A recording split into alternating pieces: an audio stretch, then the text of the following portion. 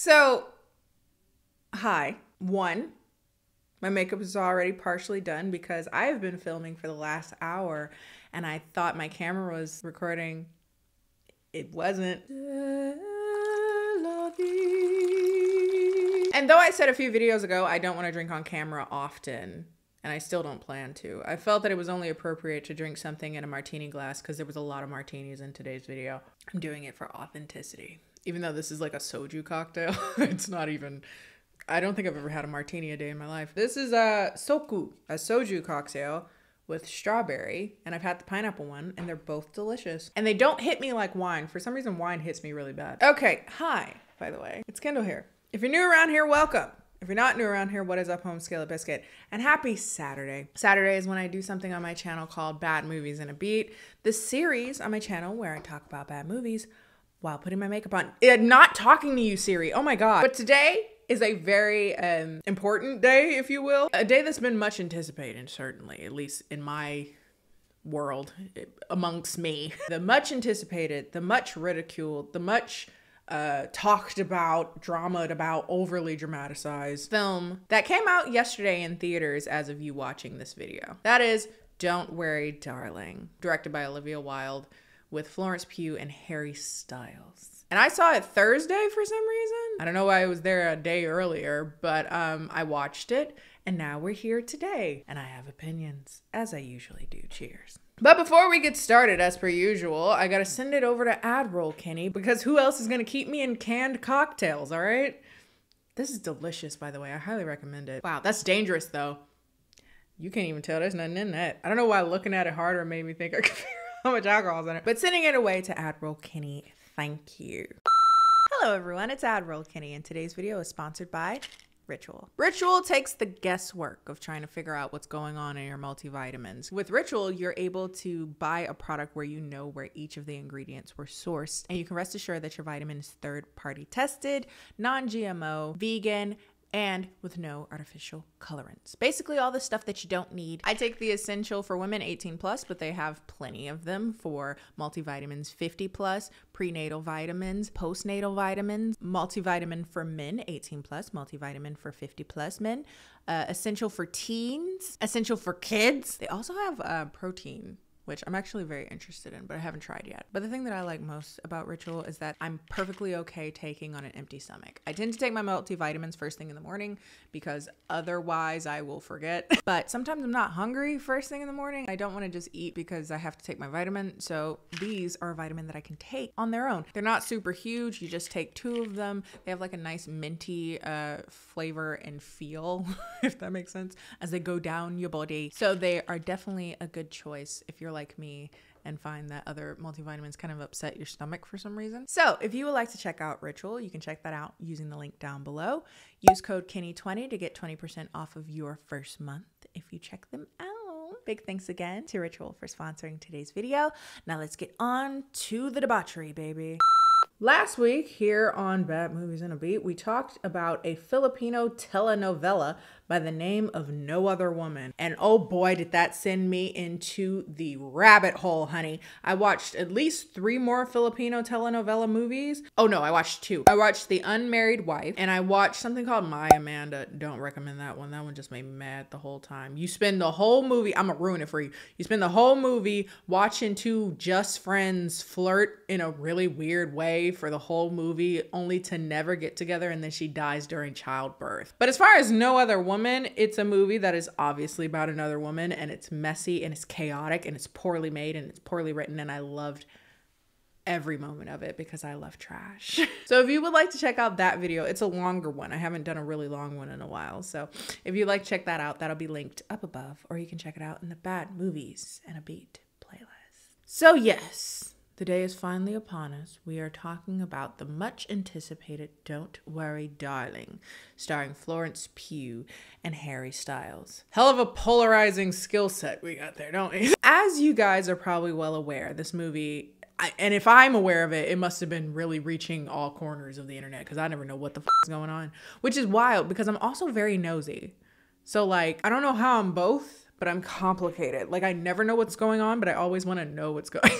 This movie has been much discussed, ridiculed even, fussed about, over dramatized because it involves Harry Styles and his fans are very zealous as most like super fandoms tend to be. And now he's in like a, a generally considered respectable film. I don't know if he's acted outside of this, the film that has really gotten a lot of people's attention outside of his fandom, certainly, if that's the case. More so than the film itself, there has been a lot of drama or pseudo drama wrapped around this film that all lead up to its premiere at the Venice Film Festival. That whole shenanigans was bombarding my timeline on Twitter, particularly once they got to the Venice Film Festival. So, rumors are surrounding this film rumors of backstage drama, rumors around possible beef between uh, Olivia Wilde, the director, and some of the actors on set, rumors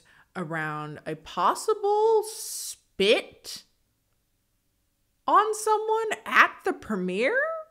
We'll get to that. Everything around this movie is what seems to be overshadowing the movie itself because as of filming this, the reviews aren't particularly glowing about the film, at least critically. It's a bit early to say as far as moviegoers, but last time I checked, the movie was sitting at around a 38 on Rotten Tomatoes.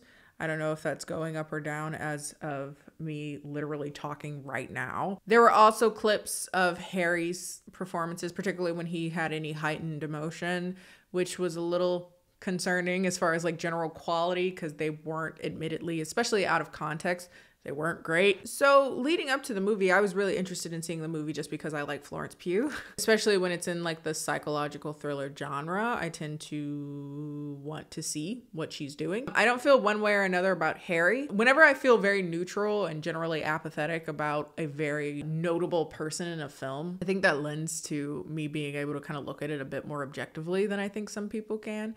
Because if you're a big fan of Harry, you may applaud anything he does. And if you hate Harry for whatever reason, you'll say it's shit regardless because he's in it. Um, I don't feel one way or another. I feel incredibly non committal about any emotion around him. I like that one song, Adore You. Watermelon Sugar is fine if it's playing already, but I'm not going to go out of my way to play it. That's how I feel about Harry Styles. I also laughed outright when people were calling him the new king of pop. I that was laughable. I didn't I didn't have anything else to say about that. I was like, what? Like I'm not even gonna give that any energy. It does not deserve it because it's truly laughable. But with that said, I think that kept me as neutral as possible going into the film so that I can just kind of watch it and just either enjoy it or hate it for whatever reason. I will say I didn't really know how to feel going into this movie for a lot of reasons. One, I didn't know one what the movie was about. Two, whether or not I should expect it to be a complete and utter dumpster fire because again, some of the scenes that it leaked out weren't promising.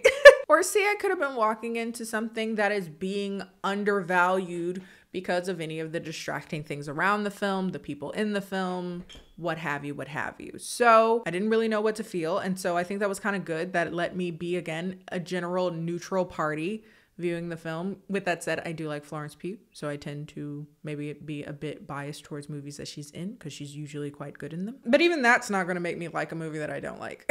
so I say all that to say this movie certainly was one. I don't think it was spectacular. I don't think it was groundbreaking. At least I will say with a caveat I've only seen the movie once because for obvious reasons being that this movie isn't on streaming I can't watch it over and over again. Writing notes while watching it pausing it writing notes stuff like that. I can't go into the theater with my laptop. So this is based off of a singular viewing. But with that singular viewing I think the movie is fine it's leaning more towards good than it's leaning bad. It's not good enough to be spectacular. It's not bad enough to be fun to watch because it's so bad, which honestly is kind of disappointing because the way that people were kind of talking about it, I thought it would be either peak art cinema, like something crazy, like revolutionary, or it would be the worst thing I've ever seen. And admittedly, it was neither. And that's really disappointing. I would have been really drawn to some form of passion if it were either of those things. But even the scenes that were leaked of Harry's performance that were being kind of ridiculed on the internet weren't as bad when they were in context. Even the things that I was kind of expecting to enjoy, again, in either direction because it was so good or so bad, ended up being quite leveled out by the time you actually saw the whole movie in its context. So, with that said, I wanted to do somewhat of a breakdown of the film, both with spoilers and without. So I'll have timestamps down below so that if you want to avoid spoilers because you plan to go see it, you can do so. Before we get into that, of course, we have to actually talk about the drama. What made this movie such a big deal, at least in the landscape of the internet. and I will warn you, if you expected some like truly hot tea, bitch, this is not what that is. This is people that are bored. These are bored people. Cause this is not tea. This is some shit that happens at a UPS every day. Somebody taking credit for some shit that they didn't do. This is not front page entertainment news, bitch, but people are making it into a much bigger deal possibly because it's more scrutinized because Harry Styles is in the film and the director is currently dating Harry Styles. But as far as the tea itself, assuming I'm not missing anything, I don't think I am, but if I am, feel free to put those down in the comment section. The tea is not that hot. This is lukewarm, if not even. This is room temp. I'm sorry. I just can I just sing my praises really quick. I am drinking a cocktail. I am doing my makeup. I'm letting my hair set and I'm doing a movie review at the same time. This, my friends, is a force to be reckoned with. All of this information in regards to the drama has been garnered from uh, Spill Sesh here on YouTube. Sure, I could have read an article about it and compiled my own information, but though I am nosy, the only thing that I'm more so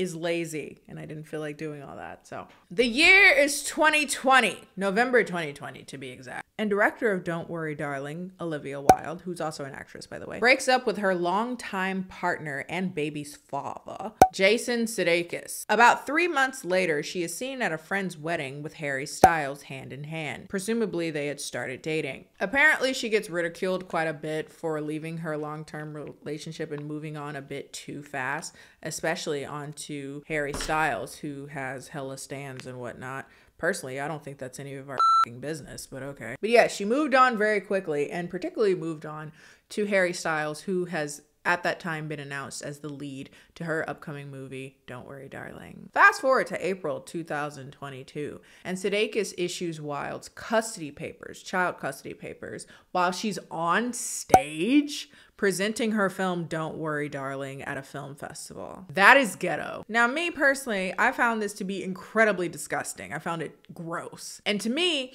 reeks of abuse. So Personally, if that was supposed to make him look like a better guy, it didn't in my eyes because that's very icky to do. With that said, Jason Sudeikis swears up and down that he had no knowledge that the company that was going to issue her papers would do it while she's on stage. I don't believe that.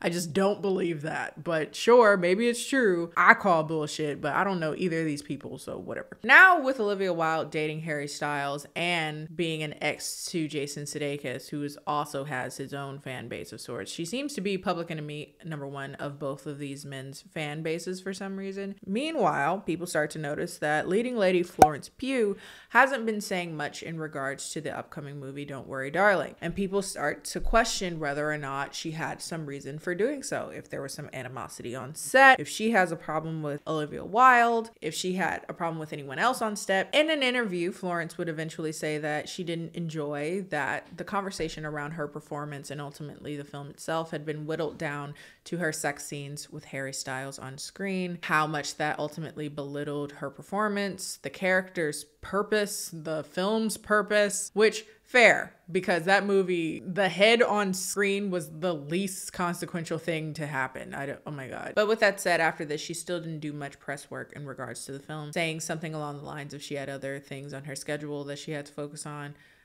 That may or may not be true. It's whatever. But it would seem that everything started to go batshit when, in an interview with Variety, Wilde would say that the original person that was supposed to play in Harry's role was actually Shia LaBeouf, but she ended up firing him because he contributed to a nasty energy on set, a combative energy on set, and she just didn't appreciate that particular vibe in the workplace and decided that it would be best if he would go. This, of course, takes place in the midst of FKA Twigs, I believe, suing Shia LaBeouf for abuse during their relationship. So it is now quite a public knowledge thing that Shia LaBeouf has been abusive in relationships, or allegedly abusive in relationships. So it would seem that Wilde was kind of confirming that he does have a belligerent temper even in the workplace. Shia LaBeouf who is currently on his very predictable white man post abusive redemption arc uh, sends a very tailored and obviously PR written letter that essentially says, No, I was not fired. He says that he was not fired from the set and that instead he quit, possibly due to tension and discomfort between him and again leading lady Florence Pugh. He then followed up with a video of Wilde asking him to come back to set, saying that she would ultimately attempt to mitigate their relationship between him and Pugh. I don't know if this actually proves that she's a bad person the way people seem to think it does. because at the end of the day, she accused you of having combatant issues on set, and then you confirm that you have issues with Florence Pugh. so I don't understand what the gotcha is there. I guess the gotcha is that that despite him having issues with Florence Pugh, allegedly, it didn't stop her from asking him to come back to set, which is fair. That would be something to catch her essentially in a lie. But it also doesn't say that you didn't have a combative relationship with people on set, is what I'm getting at. That doesn't make you look better. at least in my eyes, it doesn't. But within this video, people would garner that uh, Olivia was kind of talking down to Florence. Um, she refers to her as Miss Flo, which people have seemed to garner that is is used in some way derogatory. Again, I haven't watched the whole video, but clips I've seen, I'm still not getting what y'all are talking about. like it did, it just sounded like she was trying to say, "Hey, y'all don't like each other. I get that. Can we still get this movie made though? Like I will do whatever I need to do to make sure that both of y'all are cool. But yeah, people kind of use this as evidence of her being a liar, her presenting herself as more of an upfront pro woman person, but behind the scenes she's trying to hire an abuser. I could definitely see how that could be extrapolated from this, but I don't think it's in this specific case if that's the argument you have. I think it's more so in the idea of wanting to hire Shia LaBeouf regardless. With that said, I don't know if it was public whether or not that he was abusive prior to them looking into him. This would have been 2020 2020 or 2019 or something like that. So um, it's hard to say. But assuming she knew in some way or another that Shia LaBeouf was abusive and it had gotten to her ears and she hired her anyway, that would be certainly an, an example of her being one way in public and then one way when it comes to her actual work. But as far as her trying to get someone that she has under contract to come back to set, I don't see how this is particularly evidence of some like grand wrongdoing. Am I missing something? you have two actors arguing on set, presumably, or not getting along on set, and one decides to quit and you have a movie to make. I could see why someone, especially with all the money involved in making film, would try to at least attempt to coax somebody to come back to set. So, yeah, that would be her lying.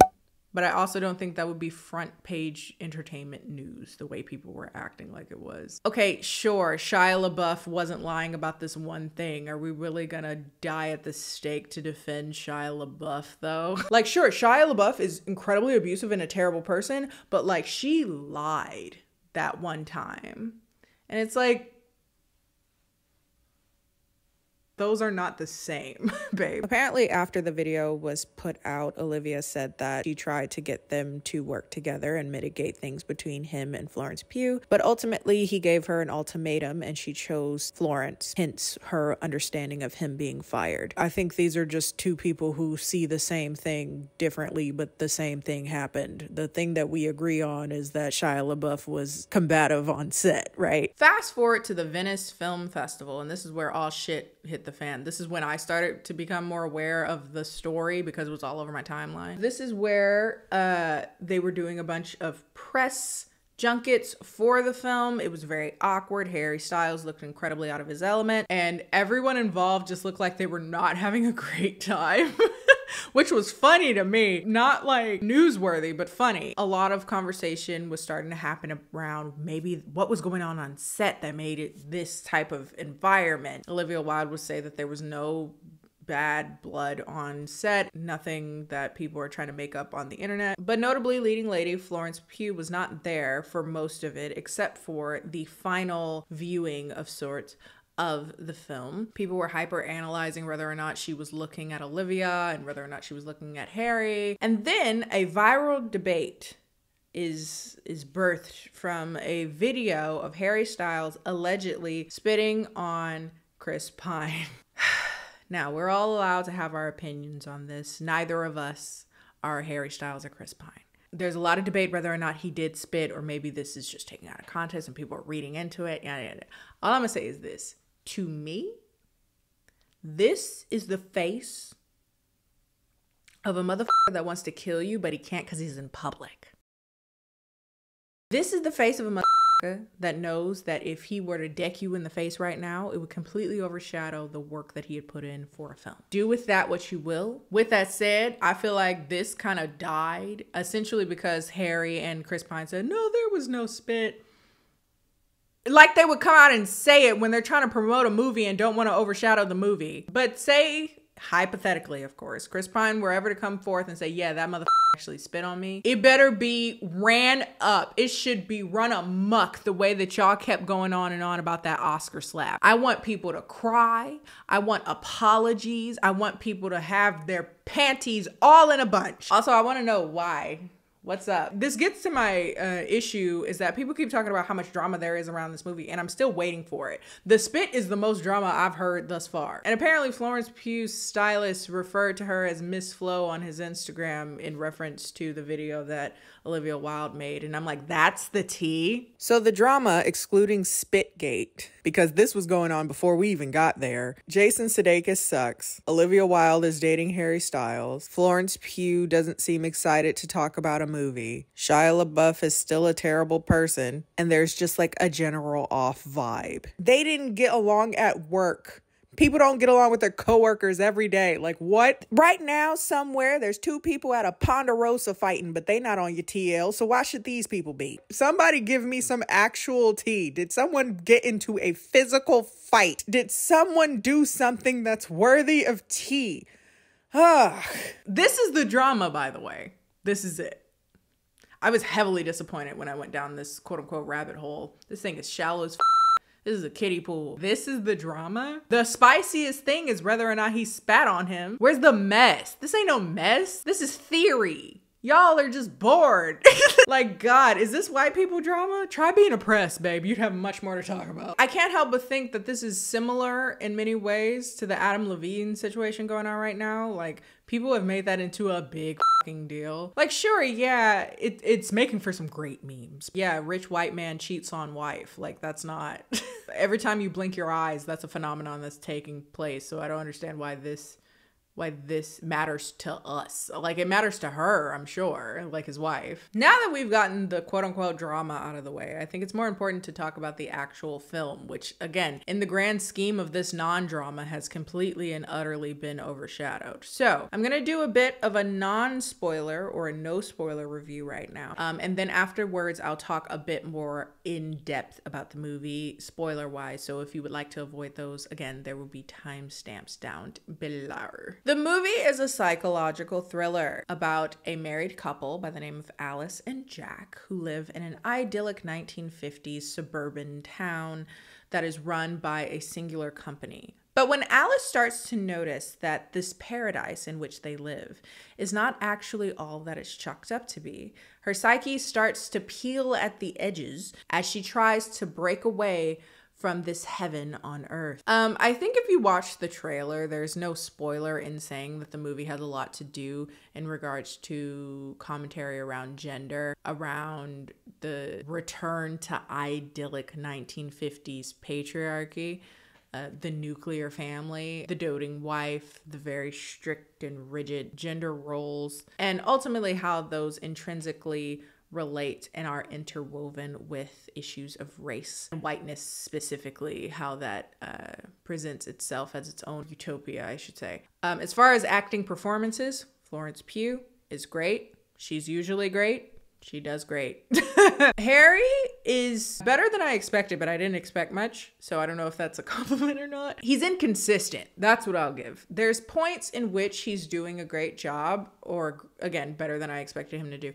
But then there's times where he kind of shatters and how kind of novice he is around being taken seriously in a film like this shows and it can be quite distracting. And there's even some times where he does a good job, like a legitimately good job, but he's deeply inconsistent. Uh, maybe if he had a bit more experience prior to this, he wouldn't have struggled with that as much, but hey, here we are. But with that said, he's a supporting role. He supports Florence Pugh in her leading role. Um, and I feel like he does that fine. I don't think that he overshadows her in any way, at least not via his performance. I think if you feel one way, again, about Harry Styles, maybe you will be hyper focused on him. But if you go in neutrally, not really caring one way or another about him as a character i think he just kind of he he serves his purpose he's no more and no less the visuals are a bit predictable, but I mean, it's what you would expect from something that is set in the 1950s. But they're done in a very almost surreal way that really helps relay how off kilter this whole kind of idealized utopia is. The pacing's good.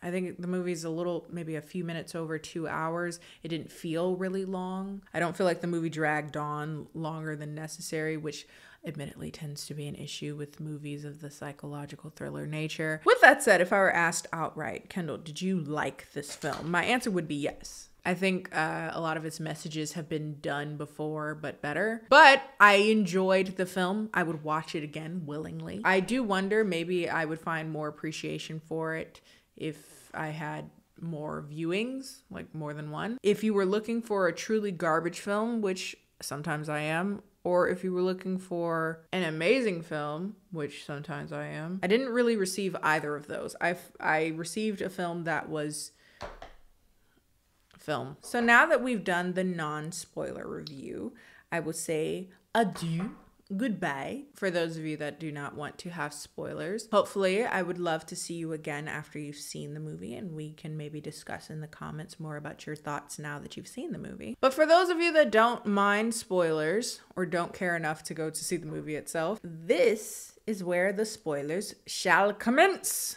So, what we find out in the later half of the movie is that the idyllic 1950s world is not real. It is actually a VR simulation taking place in current day, in which a man named Jack has forced his wife, Alice, to be in this test world in which they can return to this idyllic 1950s world. In the present day, Alice is actually a very, very busy and very successful surgeon, and her husband Jack is feeling neglected and ignored because she's so busy doing her job. He's also out of work at the time, so in a way, her working makes him feel emasculated.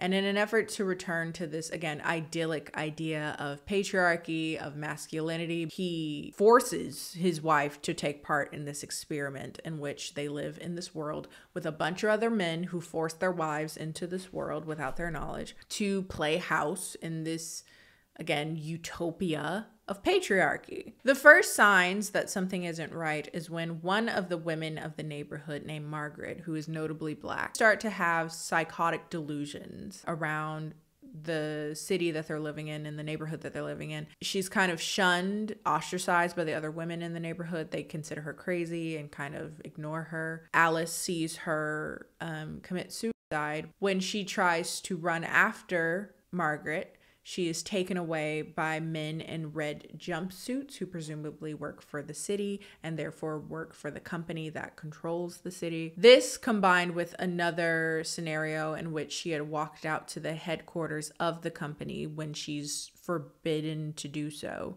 gets Alice start to thinking that this place isn't what it seems. After these events, Alice starts to have intrusive thoughts that result in her attempting to take her own life without her knowledge and without her being fully conscious. I think this is the simulation trying to kill her before she can say anything about what's going on or what she suspects is going on. But eventually, she ends up being put into inpatient treatment by Jack after she confronts his boss about what exactly is going on in the company. Jack eventually admits that yes, he brought her here because she was unhappy as a surgeon, but he says it in a way that is very indicative of him being unhappy that she was a surgeon. You know, I was doing it for you. You were unhappy as a surgeon. It's like you took away all of her autonomy entirely. Ultimately, Jack brings her without her consent into this, you know, very rigid doting wife role. So that allows him to perform in how he believes is his rightful place in masculinity and patriarchy. In this fake world, he is rising up the ranks, and she is there just simply as sort of an ornament to him and his success and his place at the company. But once she realizes that that's what's taking place, he tries to kill her by hugging her to death, gripping her waist, and he starts to squeeze her until she can't breathe. So she beats him over the head with his whiskey glass that she gives him every night when he comes home from work. Apparently, him dying in this ideal world also kills him in real life. Alice must race to the headquarters in order to break out of the ideal world and return to reality. She's ultimately able to do that, escaping the people in the red jumpsuits that try to catch her along the way. But the movie ends with a black screen and her taking a gasp of air after she leaves the simulation. Of course, very whittled down and with very little clips because, again, the movie's in theaters right now. Like I said, the movie's fine. I think the movie's good. There's other movies that have done this conversation around uh, patriarchy and masculinity and ideal femininity and all that stuff better. But uh, the movie is still good, though heavy handed at parts but still good nonetheless. I think uh, topically, incidentally, being that this movie has so much to do with gender and misogyny and how we talk about women in higher powered roles and higher earning roles is so such a focal point. I'd be remiss to ignore some of the things I suspect around misogyny in particular and why people are so heated about everything happening around this movie, it's been very misogynistic. It seems like there's a disproportionate amount of heat on her. I think a lot of people have a lot of hate towards her because she's dating Harry Styles, and that has its own you know, people who are living in a world where they were like, I was definitely up next, bitch. You took my space. You live in Idaho you don't know him. There's a lot of shit about like why aren't you home with your kids and you're going to concerts with Harry Styles. It's like a bunch of misogynistic bullshit. And I think a lot of people have hyper criticized and hyper scrutinized this movie partially because of misogyny. Again, I don't think it's incredible. I don't think it's like the best movie ever made, but I'm still confused is what I'm getting at. Where all this heat is coming from, where all this vitriol is coming from about this movie. Now, I'm open to redacting my opinion if I find out there's more information in regards to why I there is so much scrutiny and so much vitriol towards the movie towards Olivia Wilde. And maybe along the way, we'll learn more things about what actually happened behind the scenes. But we don't know. So, like, where is all this coming from, considering we don't have any, like, concrete knowledge about anything? Because if we don't know anything, all this heat is based off of what?